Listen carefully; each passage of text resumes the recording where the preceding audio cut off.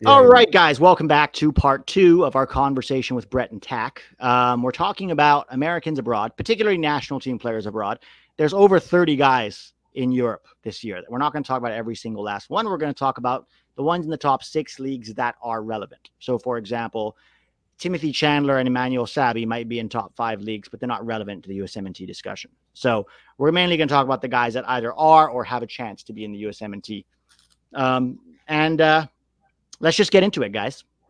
Yeah, I think it'd be really cool that, that we're doing this because in mid-season or at the end of the season, we'll have like a, a baseline of expectations that we laid down before anything started this season of like how we can rank the success or failure of an individual player. So I think it's yeah. cool doing this. So we're going to talk about with each player what does success look like, and and try to hold them to that standard, or at least go well. They didn't hit what we think is success for them, and we might want to go per league. Want to do it per yeah. league? Yeah. So we're going to start with the Premier League.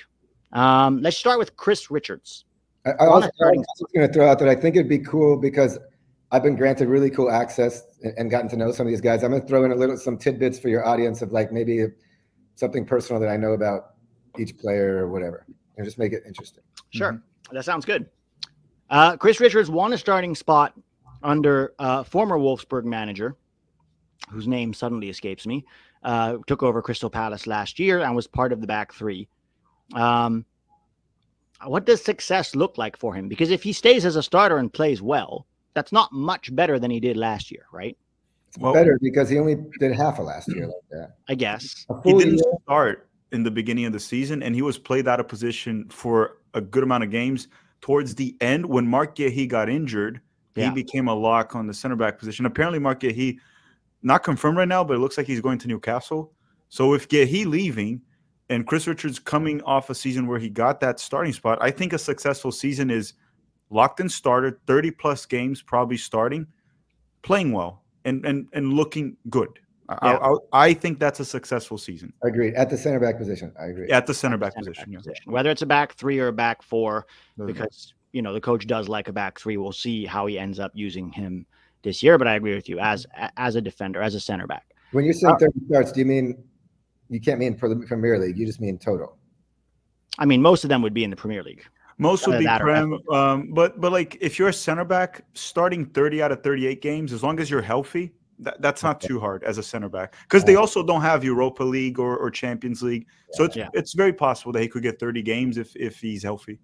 Yeah. All right, I, I think that's that's a fair barometer for success for Chris. Yeah. All right, uh, Tyler Adams. This is a tough one. We haven't seen him play for almost two years. Just walk. If he walks, it's no. I'm joking. I think staying healthy and being a regular contributor to Bournemouth would be success. Wait, real quick, just for each guy, I'm to throw like 30, 20, 10 seconds. Oh, yeah, yeah, go for it. So Chris is like, just, just, just getting to know him a little bit. Like he's, he's kind of like the, a little bit like the Yunus Musah style of like seemingly always happy and smiling, like a guy that you, that is just like an infectious character, infectious personality.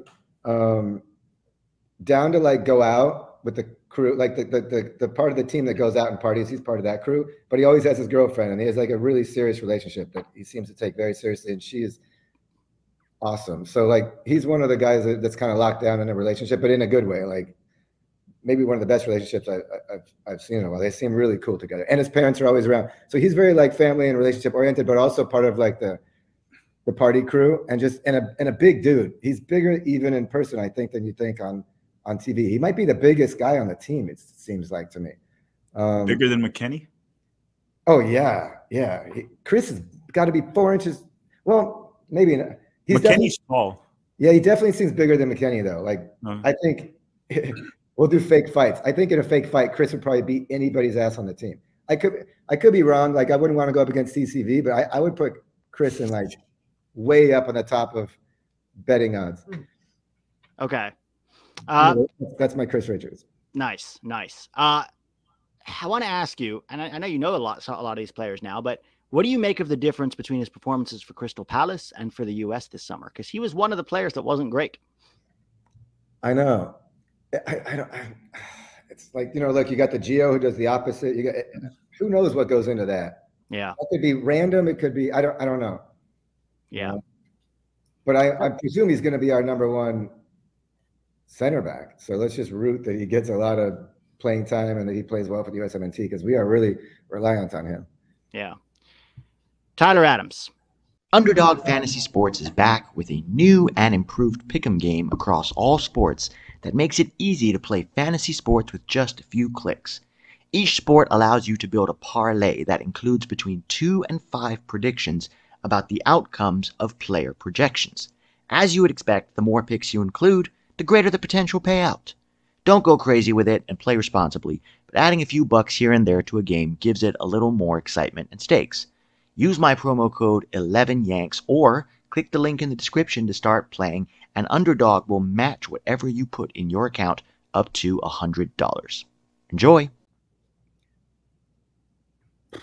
Who wants to go first? He's out for the first two months? At least. Yeah. I would say success for him is starting 60% of games after he comes back from this injury and playing the way that Tyler Adams typically plays. To me, that he just needs a rebuilding season. Like he doesn't have to be like, you know, six of the year. He just needs to like get back to Tyler Adams, and I would call that a success. Yeah, I agree. I'd call it regular contributor. You know, even yeah. if he doesn't start every game, but he starts at least half, and then as a regular off the bench in the other half, and and healthy and playing well, I'll take it. Yeah, I'm not going to put any numbers into it, 60%, 50%, because I don't also don't know when he's going to come back, right? Last time they said he was going to come back in October and he didn't come back till March.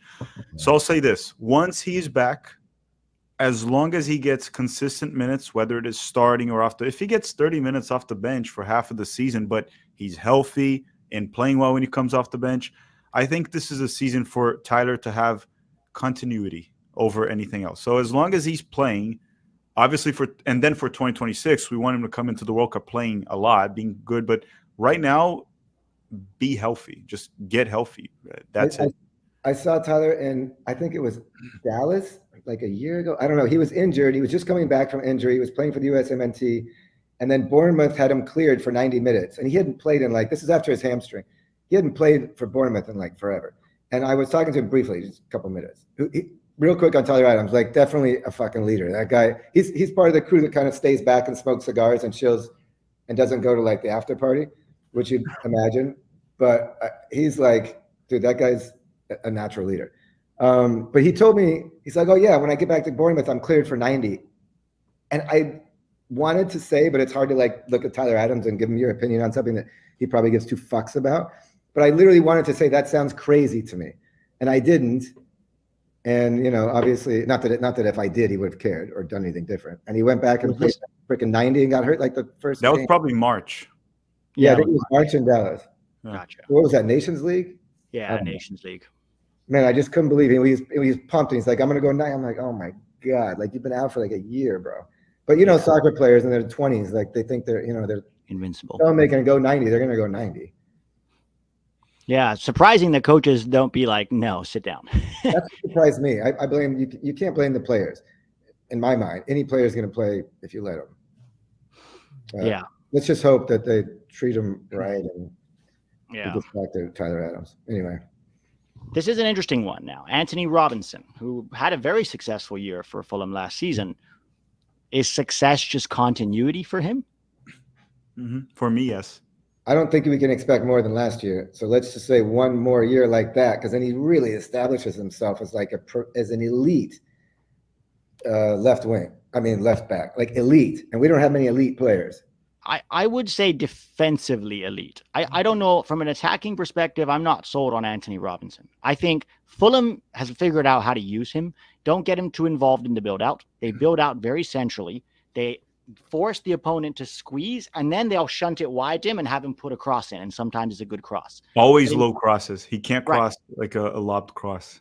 Right, but but in terms of the build try, out, he used to try a lot of lob crosses, and now he does low. I think he's yeah, just learned cutbacks. I, I think that's a good element of his game. But he's yeah, but I think they they figured out what his strengths and weaknesses are, and I think that's something we never really have done with the U.S.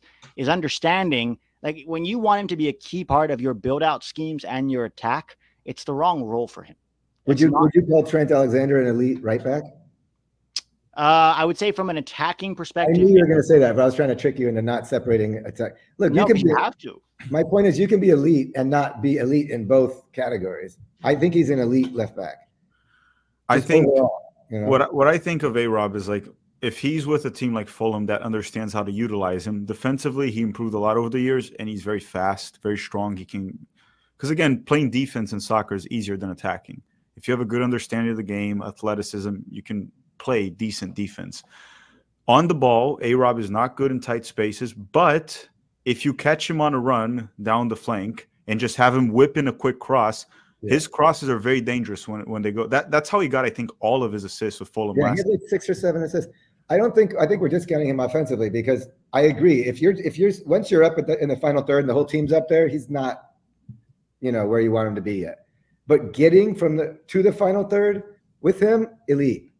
Just streaking the left side with the ball, or or, or I mean, you know, I think we're talking about two different things. In the build out, no, he's terrible. But well, he doesn't he doesn't work well. Like for example, with Berhalter's system, not too much.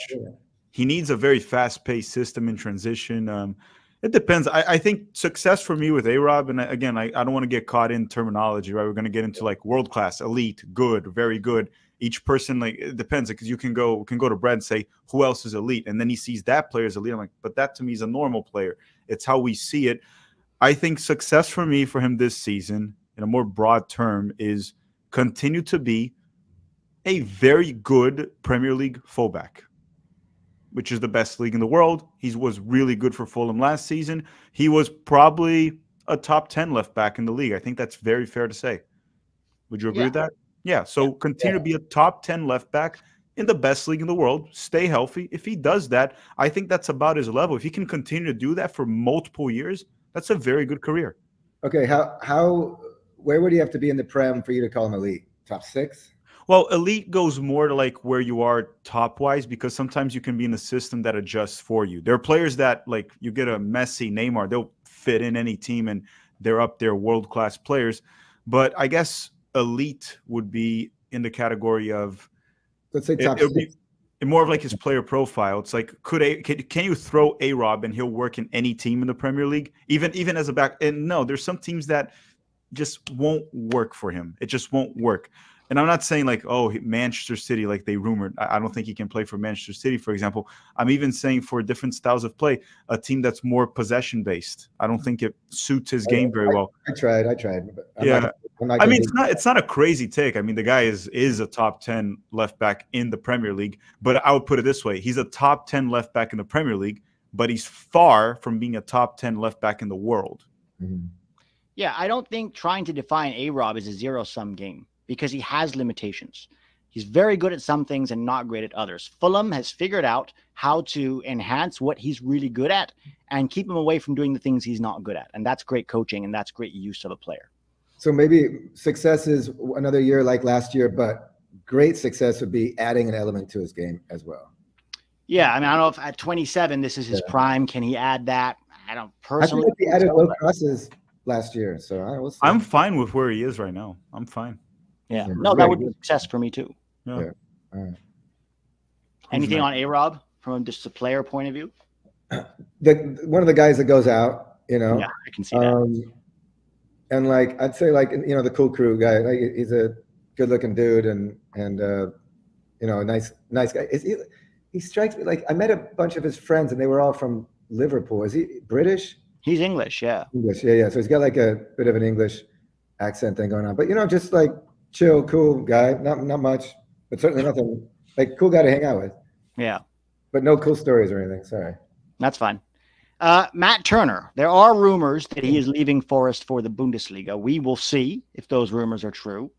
Personally, I think success for Matt Turner means leaving Nottingham Forest and going somewhere where he can play, whether that's the Championship or MLS or the Bundesliga, wherever it is. success if he was in the MLS? I don't know, man. I think playing for a goalkeeper, playing is better than sitting on the bench. That's my per- especially for a team like he looked better for the national team when he played in MLS. It's a low bar.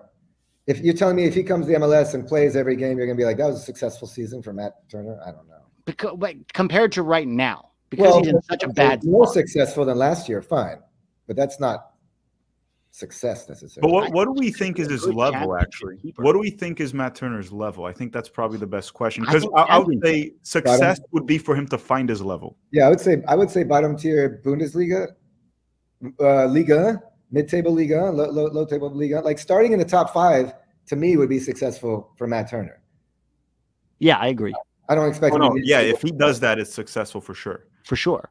Yeah. But I think he has to find a team that doesn't want to play out of the back because yes. that's the problem with Turner, right? So, so in that conversation at the airport in, in Mykonos, I'm always pitching the U.S. guys. So, you Yeah. know, all my questions were related to that.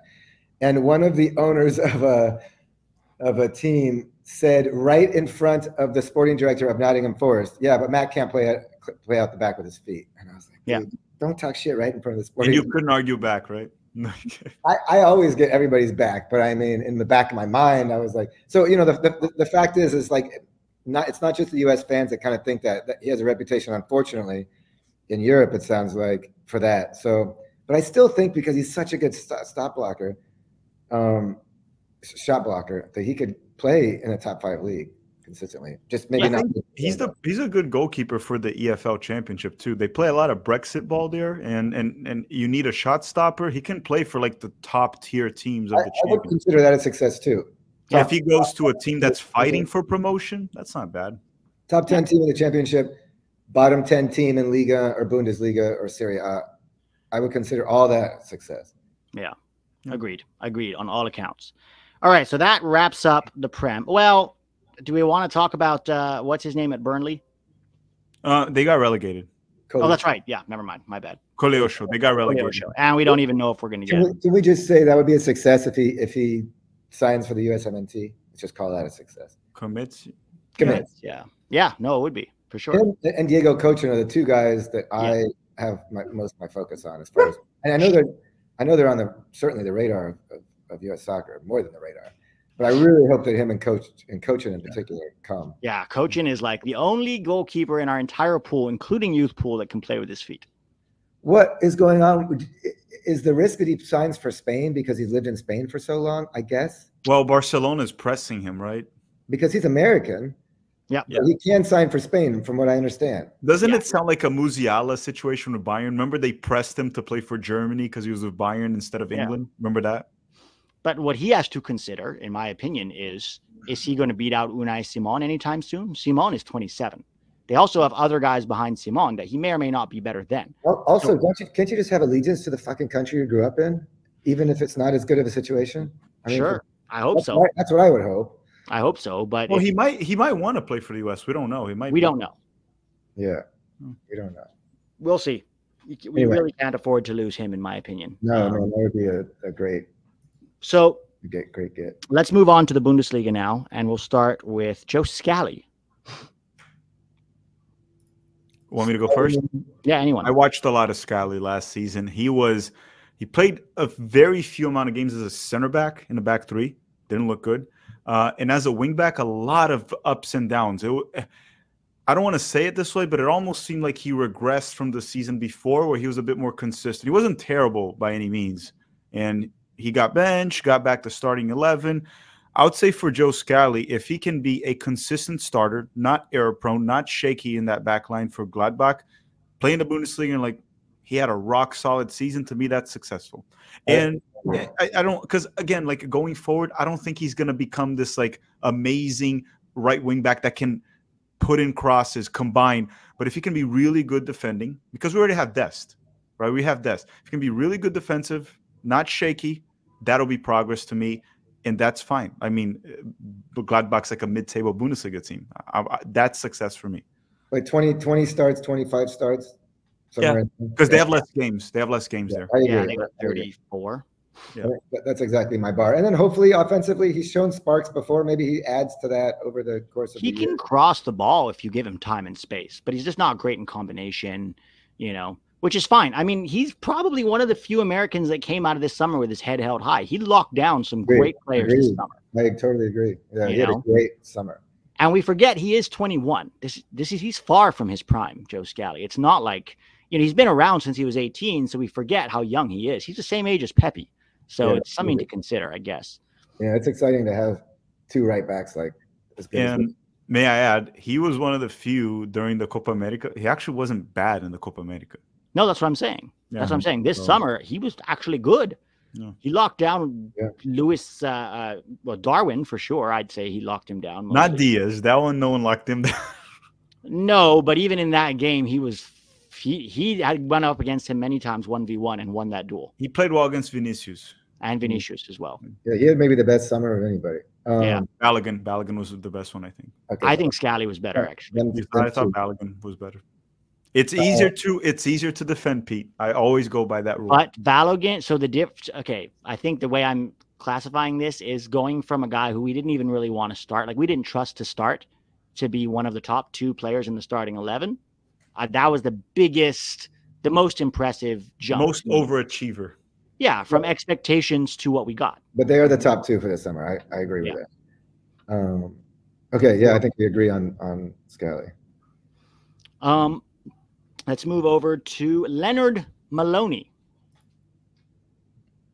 Don't I- know enough. Let's say, yeah, don't know enough. I, I I would say the same as last season. He he was a locked in starter at the six for Heidenheim, and they were a team that was supposed to fight for relegation, and they finished mid table. If he can continue to start, pro, I think he will become their captain this season too. He's From one what of I the heard. three guys in contention to be captain. Yeah, One so of the maybe be captain, continue to start, and stay in the Bundesliga. Th- to me, that would be it. And extra bonus would be become a center back. Oh yeah, we need those. we He need center played back. before. He has played a center back in Yeah, the he played center back for Dortmund. Yeah. It's crazy how deep our six is now from where it used to be. Um, yeah. I would agree with all that. I, you guys know more than me on him, uh, but uh, sounds good. Mhm. Let's do our boy Kevin Paredes. Um, he had what three goals? No, sorry, not three goals. He had yeah, three, three goals. goals. Is he getting loaned out? Is he, he's on Wolfsburg. Wolfsburg, staying. He's On staying. yeah. This, this season. Starting half the games. I think he started this season half the games. Yeah, he started already half the games. What I want from Paredes this season is to become more consistently dangerous. And I mean that because oftentimes he was not bad. Like he looks like he can hang in the Bundesliga, but he wasn't really a threat too often. And I think that's okay for a 21 year old. You know, it, it, it's been two years now. So I want him to really take that step to becoming more consistently dangerous, even if it's five goals, five assists. Yeah, let's set a goals assists uh, mark. and and locked in starter. I would say start maybe like twenty five to twenty eight games in the Bundesliga. Yeah, I think if you start 70% or more of their games, you're pretty much Yeah. a locked in starter. I'm, Yeah. gonna, I'm gonna go seven goal contributions would be success. Um, Seven to ten, yeah, I would go with that too. I'm going to put 10. I'm going to set a higher benchmark for him. pretty high, but all right. I'm gonna go seven. If you're starting every game as a winger, it depends where he plays too, because toward the end of Wolfsburg, he played as a left back. And you could make the argument Mhm. that he might be end up being a better left back long term than than winger. Well, we could use a left back. Um, okay, well then seven is going to be high. But if he's a winger, seven. If he's a left back, let's just say starting twenty. Let's. I think starting more than half the games in the Bundesliga at that age is awesome. So that that's my standard. Okay, I, I said mine too. I think seventy percent because I think uh, we need to see progress from him, and, and he he made good progress last season. He's making progress every season. Maybe maybe expect a breakout season where it's like, oh, this guy actually arrived now. He's like legitimate here, Yeah. but progress. If he wants to play in the World Cup, he needs to have a breakout season. Yes. Yeah. Um, but he looked good in the Olympics, but that's a different caliber of Yeah. Yeah. player. In the Um, let's talk about I forgot John Brooks. Well, he's technically not in the He's Bundesliga not right now. relevant to the. Well, he could be relevant to the to the team if there's a new manager, I suppose. He's Yeah. unemployed. He's unemployed. So success for John Brooks is finding a a club in a top five league and becoming a starter again. Yeah, Finding mid- a club before Berhalter finds one. mid-table club in a top five league and being a perennial starter. Yeah. Wait, wait, let me ask you guys one thing. Would it be not a success if he gets a he signs for a top three Eredivisie club, for example? No, You don't think so? Like a Feyenoord, Ajax, or PSV, like fighting for the title, maybe some Europa League, Champions League, playing a lot on the ball, like he's good at. I wouldn't want to judge a defender if I was a manager of the U.S. men's national team and I'm trying to judge who who to bring to like a, a really important roster. I wouldn't. eh, The people he's going up against, it's not. No, I'd rather see somebody in mid-table or even low-table top five league than a, than, than a top team. It's like it's like trying to judge uh, CCV. It's tough, you know. That's fair. So we exclude Miles and Zimmerman now.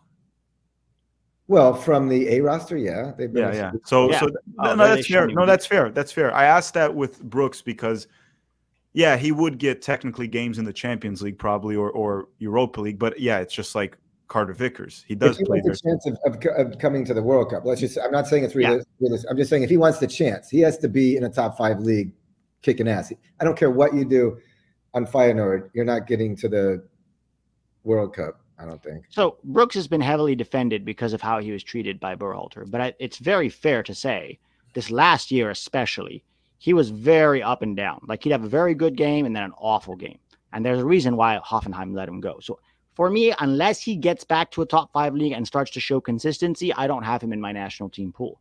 I don't think he's shown enough right now. Yeah, I'm, I'm with you.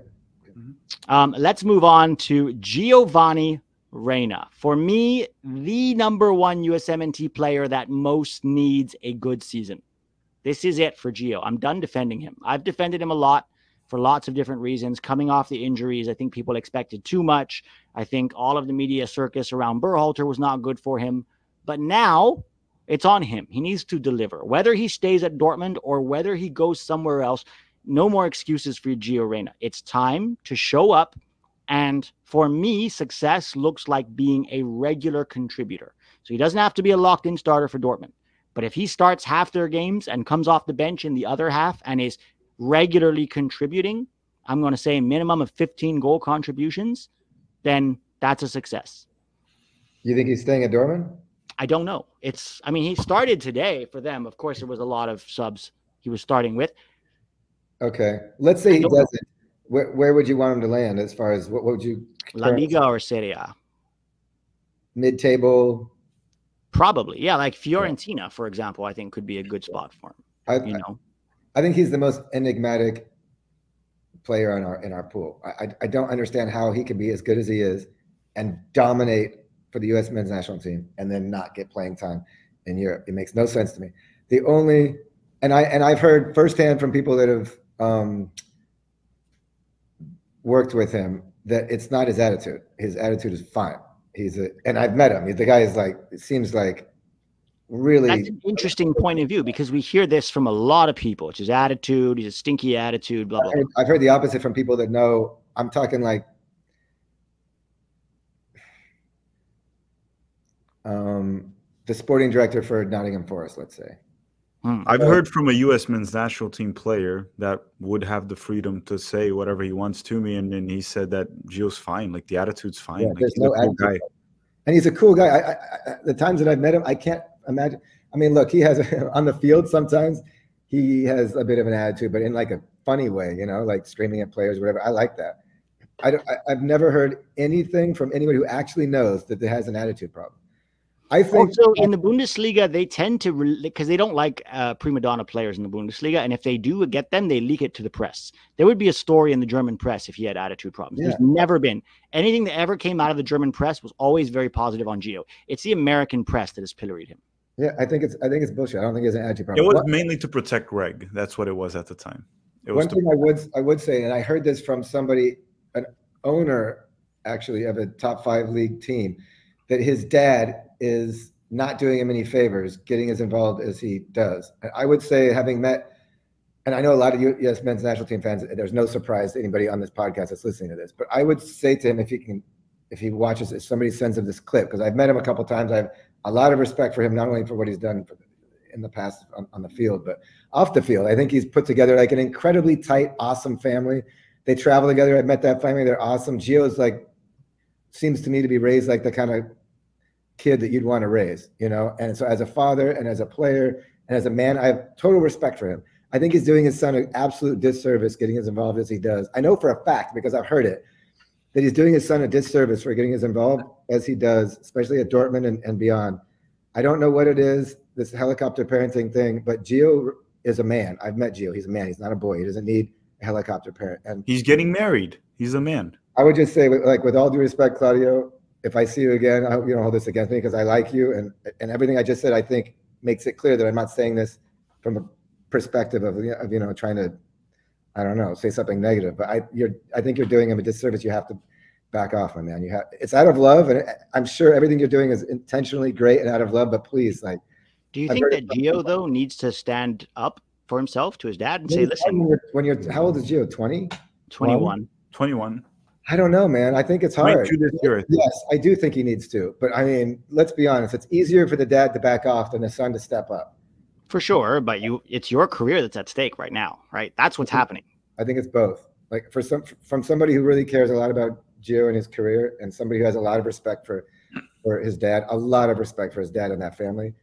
Dude, just freaking. The, the the problem is for him to stand up, he has to think his dad is on the wrong. It doesn't mean he thinks that. That's the problem. Well, I'm t- I've heard. I, I'm just telling both of them if they're listening to this that I heard from a, an owner of a top five league team that no team wants to deal with his dad.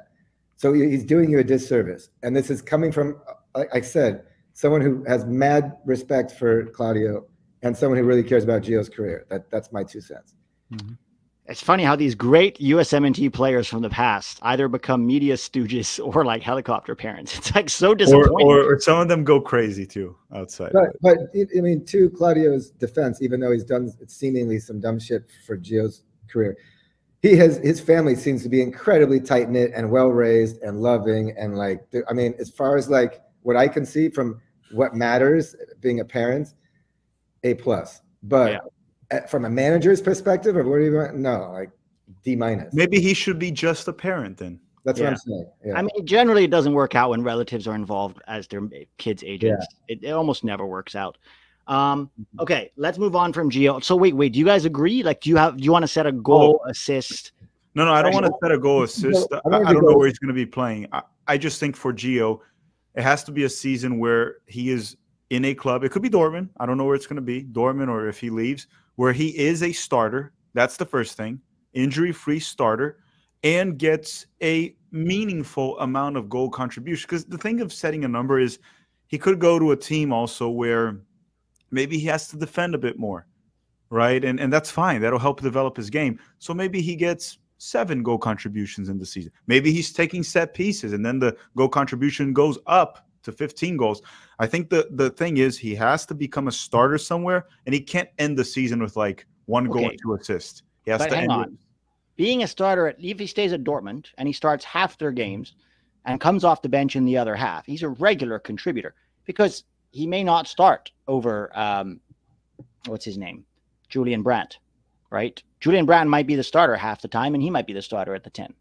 Well, but well, my point is, I don't know if he's staying at Dortmund, so I don't want to put a number because I don't I don't know what if he But you're- goes. no, no, I'm not saying for I'm saying to be a starter because Let's for say- me, let's say being a regular contributor would still be a success. Yeah, I agree. At Dortmund, regular contributor, seven, eight minimum goal contributions. At another like mid-table Liga or or wherever, Starter. um, perennial starter, ten goal contributions. That, that, Yeah, that would be minimum. Yeah, I- I, I It's in mean, sure. If he if he starts half the game for Dortmund and the other ones he comes off the bench consistently, that's okay. I still think because of the talent he has and what we expect from him, and he turns 22 in November or October or something. 22. He's not an 18 year old anymore. Needs to be starting somewhere. Like at some point, you have to be.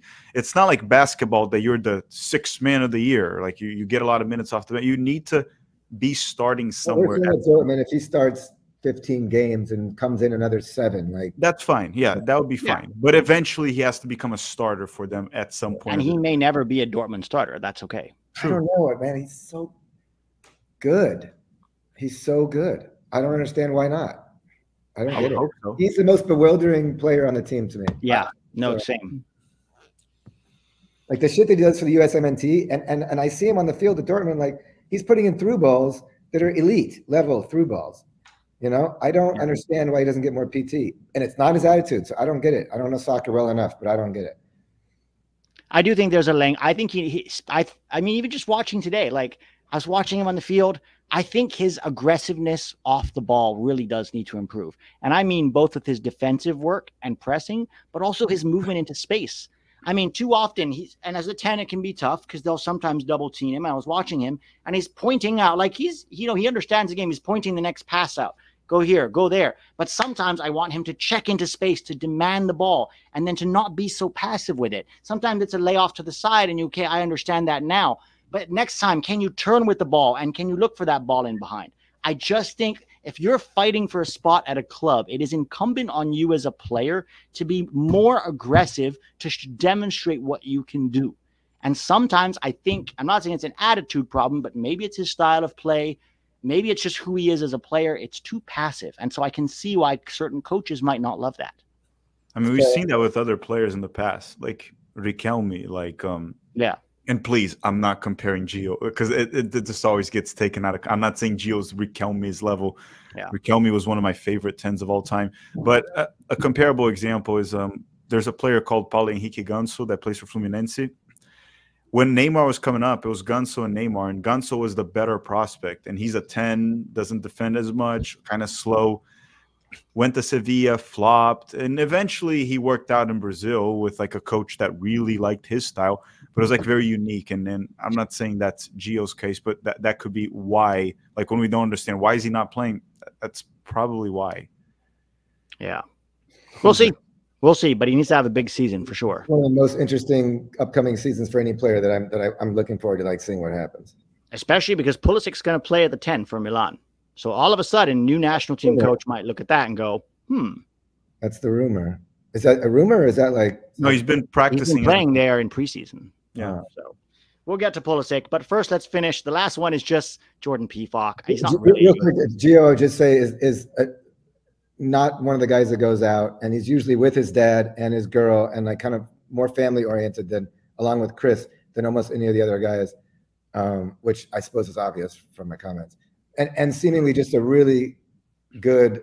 I don't want to call him a kid because he's a man now, but I mean just a really like seemingly like really nice, like the kind of person that you'd be proud of to raise your son that way. Yeah. I'm going to skip over Pefok because I don't think he's really relevant to the USMNT discussion anymore. Um, let's move on to Italy. Um, begin with Christian Pulisic. I mean, he's going to be playing as a 10, it looks like. A new coach. He's coming off his best ever season for Milan. Is success replicating that?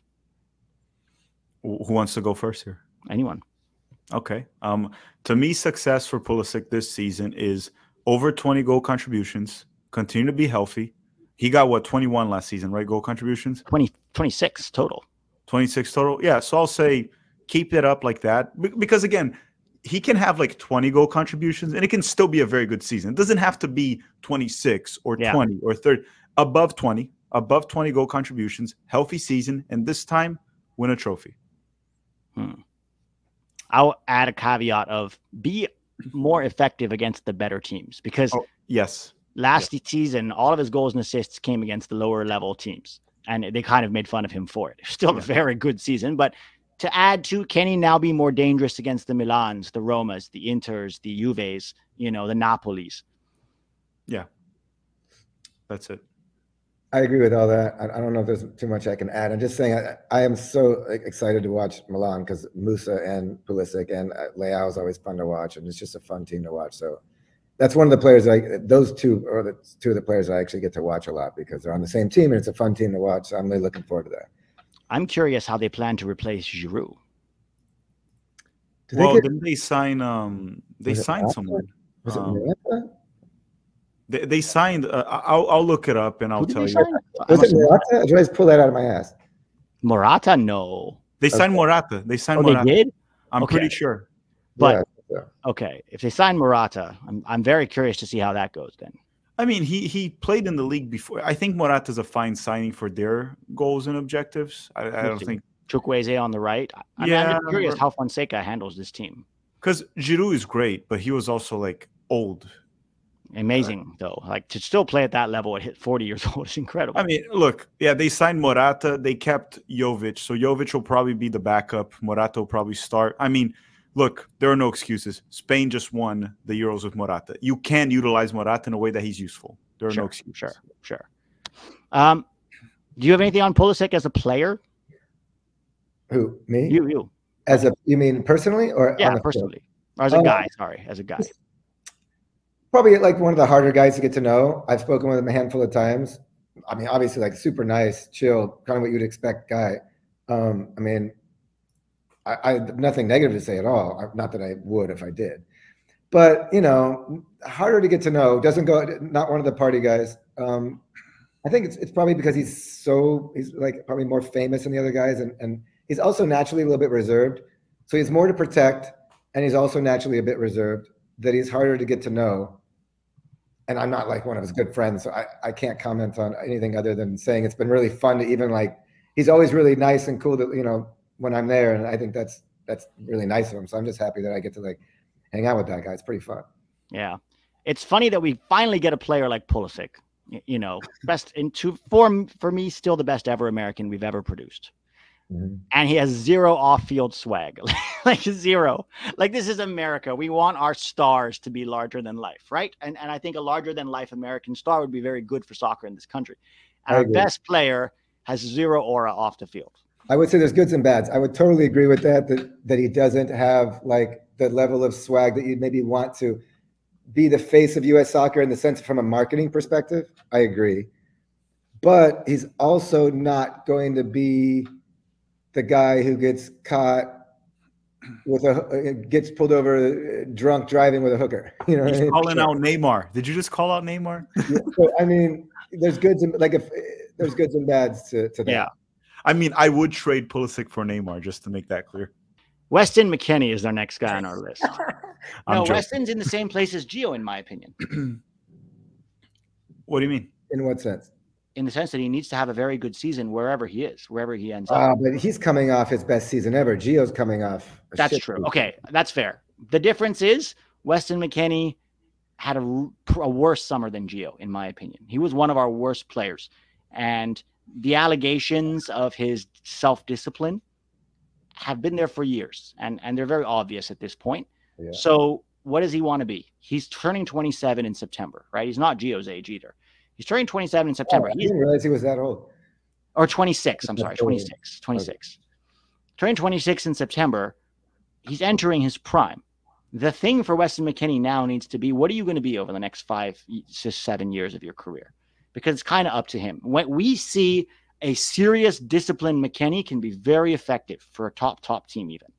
But a, a McKennie who's lazy and undisciplined and not looking after himself, it's a problem. And it's like, come on. All right, I think we're going to agree with all that, but let's let's lay some barometers. He's obviously it seems like he's out at Juve, although they said that before. But let's just assume he's out at Juve. Um, where let's say my my definition of success would be starter, like has to be starting pretty much every game. You can't go from that at Juve to like not that anywhere else. And at least at least mid-table, top three or four league, um, and serious contributor. You know, like like one of the better players on the team. Yeah, I would like even push it a bit higher. I would say like at least an Europa League side, right? Like He's going to Fiorentina, it seems like. Okay, Europa League side. Yeah, Constant he, he has to start for them, has to con- and contribute on the field. I'm not going to put a goal contribution number, but contribute because Weston's contribution on the field is more than like goal contribution. Sure, get a few assists, score offset pieces like he used to do a lot, but more of like one perform, be a locked in starter, and look disciplined. Look, look like the Weston McKennie we saw early in the season with Juventus. He was in shape, he was flying. And then mm-hmm. later in the season, he started to slow down. He even kind of got like became didn't get benched, but he was playing a bit less, right? with Allegri. Yeah. He got benched. Yeah, he got yeah. benched. And then he came into the summer. And I'm sorry, anyone that questions this, he was out of shape for the Copa America. And don't say that he's it's just his body type. No. We've seen him skinny. We've seen him in shape. So that that was not an in shape McKennie. We've seen it before. If we hadn't seen it before, then sure, I would fall for that. But no, we've seen it. Uh, and, and that's what it is consistency because he seems to like get in good form, good shape, and then just kind of like like stay there, just stay there. Um, it's part of your job, unfortunately, as a professional athlete to take care of your body. So hopefully Weston gets that. It looks like he's out of Juve this time. Thiago Motta does not want him there. And last time, I think he got a chance because like Paul Pogba was caught with um steroids. What was it again? Something like was, that. Was it betting or, or a drug test he failed? No, no, it was like a drug test for like steroids or something. Yeah, I don't know. And then and then they they needed Weston, so they pulled him in for preseason, and he played well, and Allegri kept him. Um, so, so we'll see, we'll see. But I, I, think he's leaving Juve. The question is, where does he go? It looks like Fiorentina. I don't think that's a bad move. League that he knows has to start, has to play well. No, Europa League. Are they Europa League? Fiorentina. I'll check, Pete. You can keep yeah, going. I'll check. I'll check. I would take it a step further. I would say if you're playing for a Fiorentina type team, you should be a major contributor, right? I agree. I the way he was at Juve. I mean, 10 assists to me is a major contribution. Top three player. They If- didn't qualify to the Europa League. In Wow. some ways, that's good. So now you don't have midweek games. So that means every weekend you better show up sharp, fit, and a major contributor for that team. Um, it'll be like- interesting if Tanner goes there too. I would like for him to elevate his game to elite. And not to say I'm not going to talk shit and say he's not elite, but I mean I think he has the the potential to be one of our absolute best players, top three. Yeah. Um, just a correction: they're not in the Europa League, but they're in the Europa Conference League. oh no, It's like worst of both worlds. You have to play. I know it's you have to play them, but they're terrible games. Uh, okay, well, I, you know, definitely there will be game time available. Real quick on Wes, I would say he's like the ringleader of the party crew to, to the extent that it was like, what are we doing after this? Well, Wes had something lined up. Like he's that Yeah. guy, you know, obviously. Super fun guy to hang out with. I think every team could use a Wes, but no team should have more than one or two Wes's because then you can have problems. That's Yeah. kind of how I would describe Wes. But like super fun guy to and really really nice. I've got to know him decently well. Really fun guy to, to hang out with. Like good attitude. But he is, you know, his own his own man. Like he's his he's a big character, and no one's gonna put his character into a, a box. I don't, you know, maybe like a maybe in, to to some extent, you you know, he would be bene- he would be benefited by like a big name coach, because I don't think Berhalter really could corral him. You know, he might be uncorrallable, but Well, then a, then a big name coach would go. Then you're not fit. You don't play. that's what I'm saying is maybe he would benefit from a um, a big name, you know, Yeah. high profile coach. But uh, yeah, super super dope guy, and definitely like the opposite of Pulisic maybe in in some ways. But you know, it's cool that the team has different vibes from different players, and I think it would be not as fun of a team to be around if Wes wasn't there. Yeah. Um, Yunus Musah, and I want to start on Musah and saying this. My two big complaints about Musah at Valencia were this: in the final third, terrible, and also very, very passive. Okay.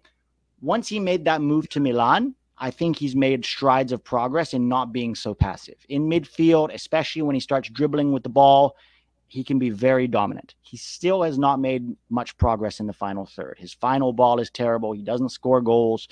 He he gets into dangerous areas and then does nothing with it.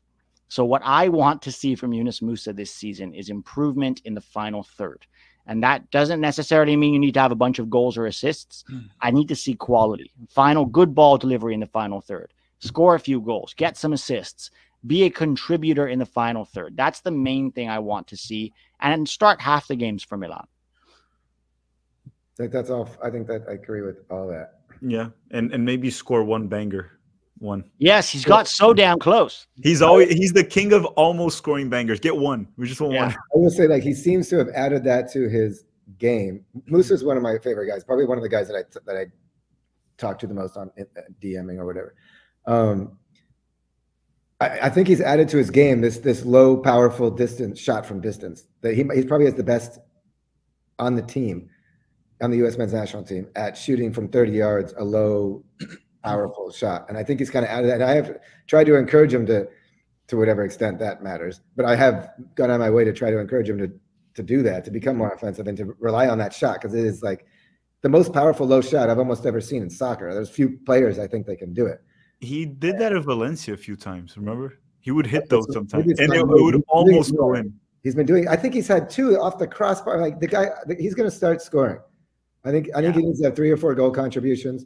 I think he needs to improve everything you said, uh, Pete. Like Gio, he is just 21, but turning 22 in November. So, you know, I think he's one of the most exciting talents on our team. I think he's. I think he has the physical attributes to be the top three player on the U.S. men's national team. Um, Yeah. I think I- if he can add that final third, if game. that, if that, I Yeah. agree. I think that's what.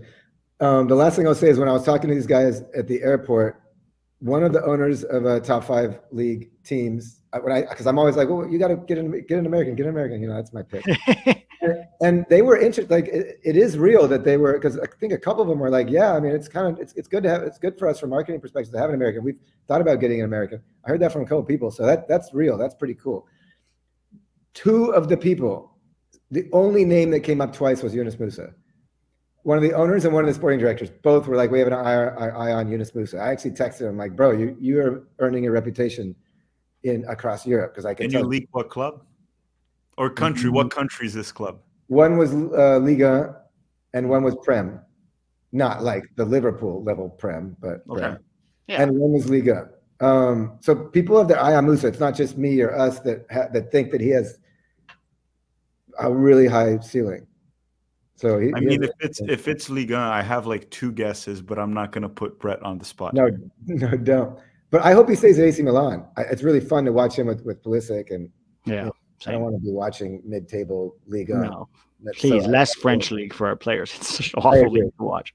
I agree. Um, let's move on real quick to Tanner Tessman. I won't really do Busio because I don't think he's relevant. Nest. Weah, Weah, you skip Weah. Oh, Weah. I'm so sorry. Yeah, yeah, Weah. Gosh, what do you guys think?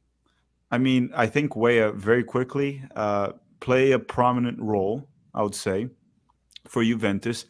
And since Thiago Motta is saying that he likes Weah as a winger and as a forward, I would hope this would be a season where in goal contributions, if he's getting consistent minutes, playing as a winger and a forward, try to get eight to 10 goal contributions. I'd say 10 is the minimum. Yeah, like if he's playing for Juve and and Thiago Motta seems to like him, and he said multiple times, this guy's a forward, this guy's a winger. The goal contributions have to come this season. Like you're not playing as a fullback, it has to happen. That Yeah. that's what I'll say about Weah. I think this could be Weah's. He, everything's lining up for this to be his best season ever, his most Yeah. meaningful season of his career. So I'm excited for him, and I really do hope that he gets eight to ten goal contributions and becomes a perennial starter, and that would be huge. To come to the league to like making that impact on, on a team like Juventus would be awesome.